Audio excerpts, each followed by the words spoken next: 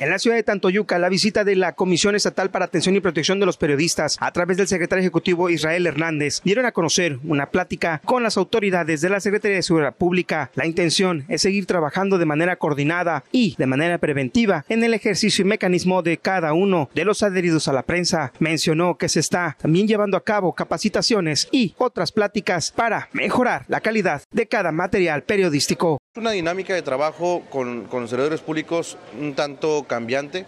Lo que estamos promoviendo nosotros a nivel local es que se haga una, una cultura del respeto y de la garantía al derecho al ejercicio periodístico y a la libertad de expresión con los periodistas y que por supuesto en todo caso, si hay alguna inquietud, si hay alguna inconformidad de alguna publicación, se haga el uso de las vías legales para ello. Más noticias, Pedro Díaz.